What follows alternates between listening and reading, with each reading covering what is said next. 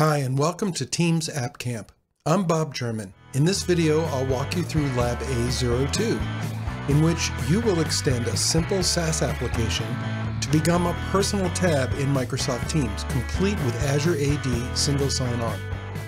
If you've completed Lab A01, then you can do the lab along with me.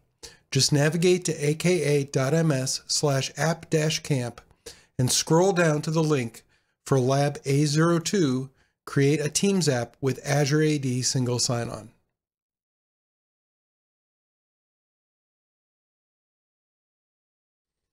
In this first exercise, we'll authorize Microsoft Teams to log users into your application. This is basically setting up the Azure Active Directory ability for Teams to do single sign-on. So you can follow the link right in the instructions to go back to the Azure Active Directory portal. And from here, we want to return to that same app registration that we created in the previous lab and go into the expose an API section of that application. And here's the API that we exposed uh, for incoming calls. What we're going to do is authorize teams to um, issue tokens that call that API on behalf of our application. And to do that, you need to copy uh, two globally unique IDs, two magical special GUIDs. Uh, this one is for the Teams client application, and the other one is for the Teams web-based application. And both of those are going to get authorized uh, to issue tokens for this API that you um, had exposed earlier. So uh, just make sure that the GUID is well formed and make sure you check off the checkbox to uh, allow that particular scope to be issued.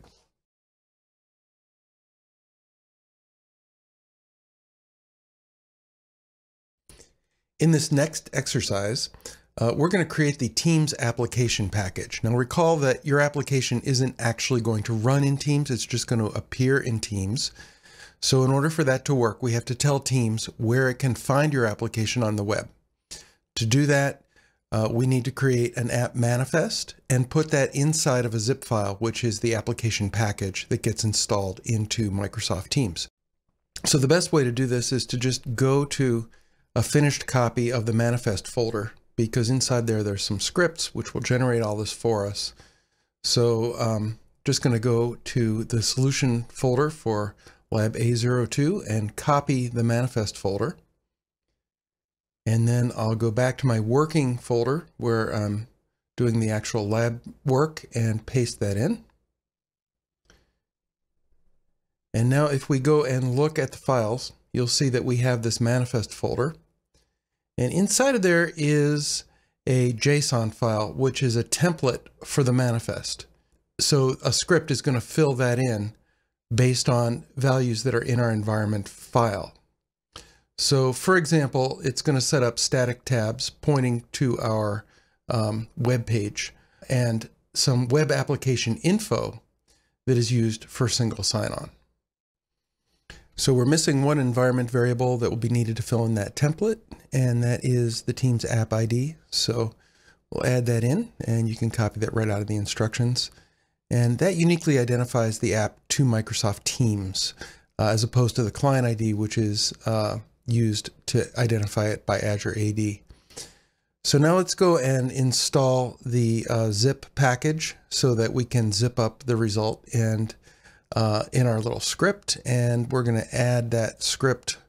Well, the script was in the manifest folder when we copied it, so we just have to tell the node package manager about that script. So um, you're going to edit your package.json file and add that script right in. And there we go. And now we can run the script. And what that will do is it will take the values out of the environment file, put them into a manifest.json file, and then add that to a zip archive along with the icons for this application. So here you can see that manifest.json has the host name and other values filled in, and that we have created the zip file.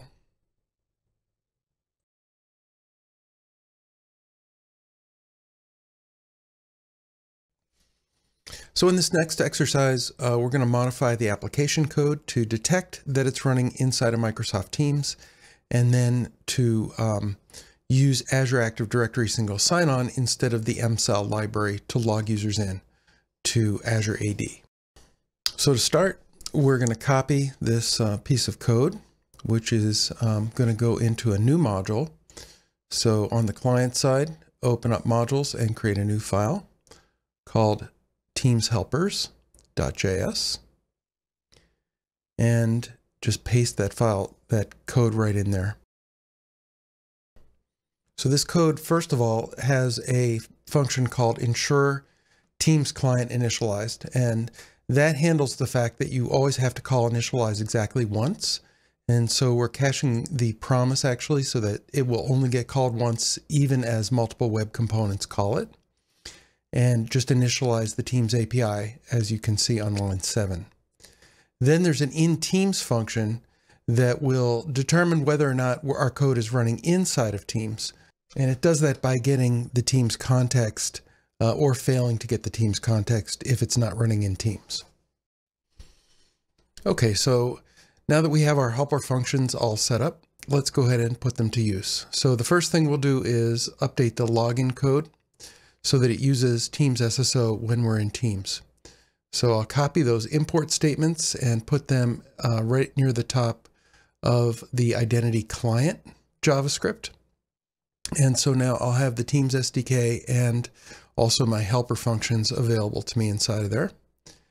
And then I'm going to grab a little bit more code, which is just going to say, look, if we're in Teams, skip the MSAL stuff and instead just call the SDK to get the access token. So um, that's down here and it's it's listed in the in the instructions. But um, when we finally get the access token here in um, get access token two, um, we're going to do that check and then I just have to kind of clean up my uh, braces and I love this uh, just format document feature which leaves everything in in uh, looking properly indented. Okay, so now we're going to um, go ahead and also augment the log off code. And um, there's not as much to do here, but I'm just going to disable it because uh, you're really logged in to teams now, so uh, the log off doesn't really make a whole lot of sense. So this new version of the function uh, will only log you off if you are in Teams. Okay. So the last thing to do is to hide the navigation um, because Teams is going to provide tab navigation. So I'm going to grab an import statement again and this time go to a web component uh, which is the navigation component. And I'll just import um, the in Teams function so that I can tell whether or not I'm running in Teams. And then I'm just going to make a little change here um, so that it will call and check if we're in Teams and it won't render anything if, uh, if we're inside of Teams. So I'll make that change here. And Okay, that should about do it for the code changes.